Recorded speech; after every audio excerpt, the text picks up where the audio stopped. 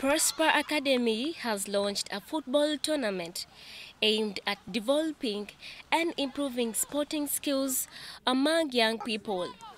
A coach at Impala Hills, Frank Molindwa says to grow up with skills helps improve on one's talent.